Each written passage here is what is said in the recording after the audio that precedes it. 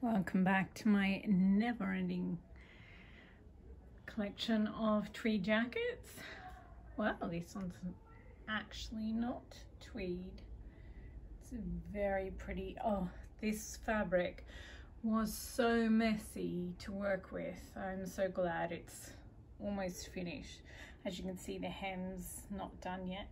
Neither are the cuffs because I haven't put the beading on yet. And I did think about just leaving it the way it is, but it needs the weight of either a chain inside or beads outside, and I prefer beads. So I think I'll just do black beads on this one, just jet black. I think that would be gorgeous. I love the velvety feel of that one. And then this one is, I think it's like a vintage Linton tweed. I bought it in this um, fabric store in the posh part of town and at the city I was living in at the time. And um, it's just, if you see, it's got cellophane in it. I think it's like from, it looks like it's from last century. And uh, it's just so fabulous. It was this woman and um, I don't know, I think it was her dream to open up a fabric store or something. Maybe a great aunt had left her money. And um, she just bought fabrics that she liked.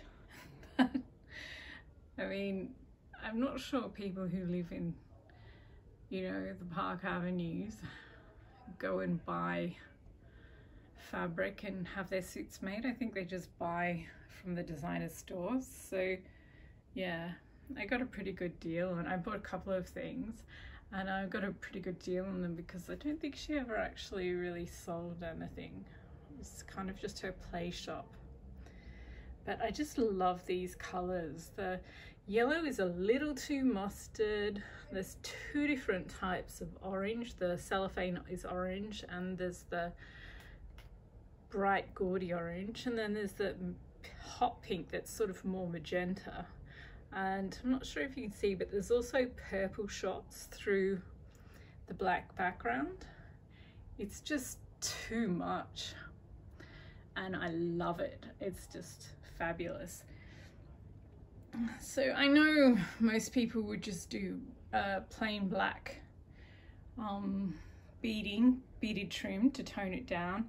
But I don't know I'm kind of kind of like the idea of using um, like big black bead glass beads to add the weight but also adding some sequins. I'm not sure. I think I'll do the the black sections of it and then try a little bit of the the the um, novelty sequins in the leaves and the butterflies and all those sort of things and see how they work together and sort of decide after that.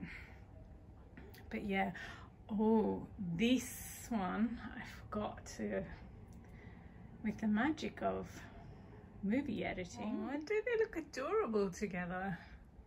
I bought some fabric at the um, Black Friday sales because clearly I need more fabric. But isn't this adorable? I wouldn't normally have bought it.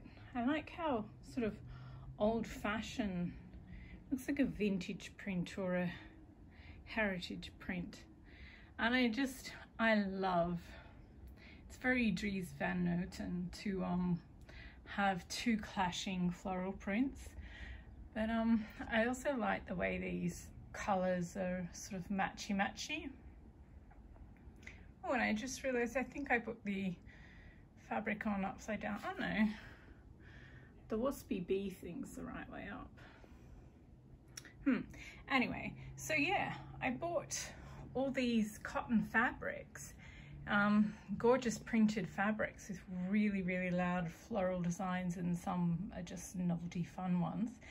But I think, because I was, next year I'm thinking of doing one um, video, posting one video a week of me making a new jacket.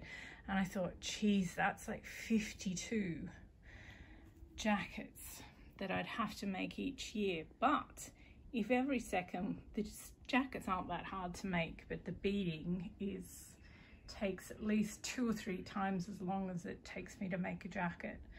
So yeah, I thought if I make a jacket in one video and then the next week I make either a shirt or a dress that I could wear with the jacket that I just made, then that will make it easier for me, give me a little cushion where I can do all my intricate beading.